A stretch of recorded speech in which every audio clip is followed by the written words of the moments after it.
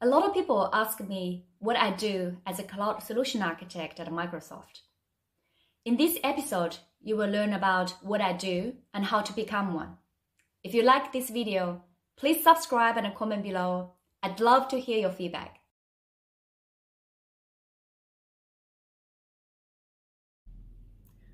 Myra, can you please fix my OneDrive? It doesn't work. Actually, my Wi-Fi always drop out. Can you please come over and have a look?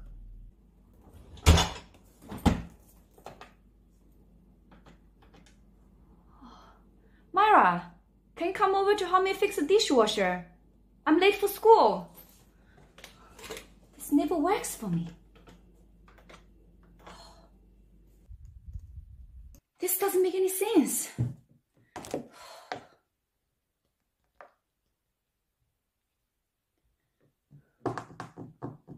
Hey Myra, can you please debug this for me?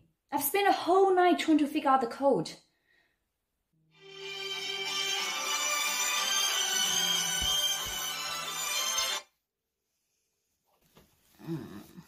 Hello. Hello. Hello. Is that is that Myra? Yes, Mara speaking. Our database has an urgent outage. Can you please fly down here and help us fix it?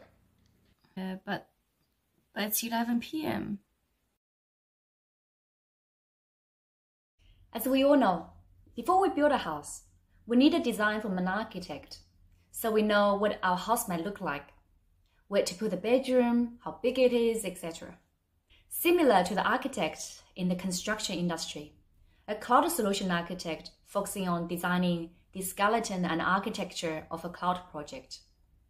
What to use, where and when to use, and how we use it.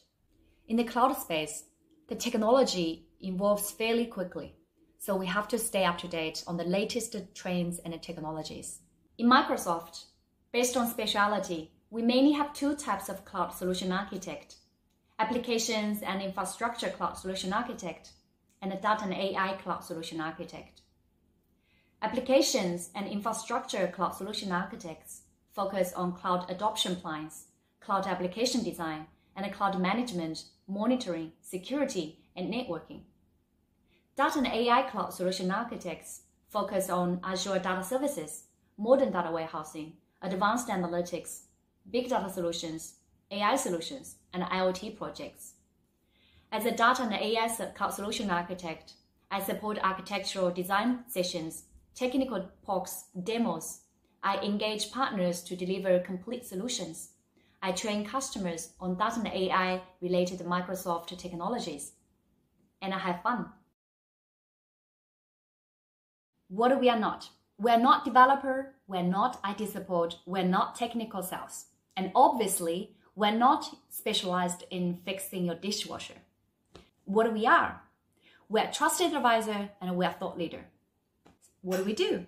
We lead and guide architectural design. We support and train cloud technology adoption. We coordinate and orchestrate internal and external resources.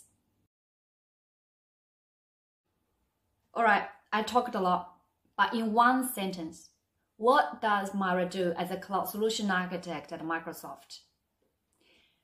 We make our customer success our success. That's all I do. To answer this question, I think it would be good to share with you a bit of my personal experience. I graduated with a Bachelor of Commerce degree in Information Systems. I started as a business analyst at a software company.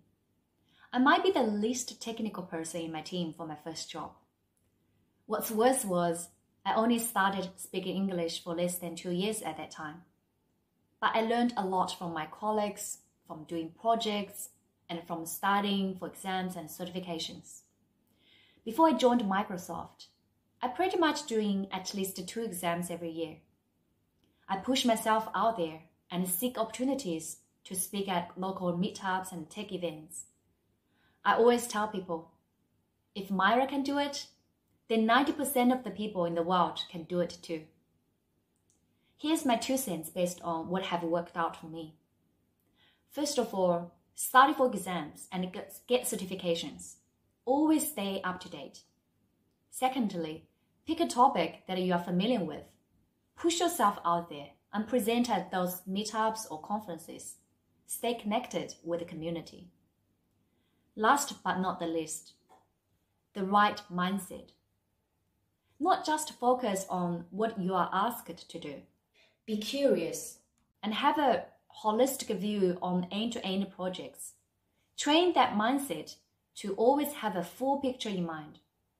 Keep asking the questions on how I can stand out, how to advance my strengths, what kind of salary I can get if I put myself in the market right now.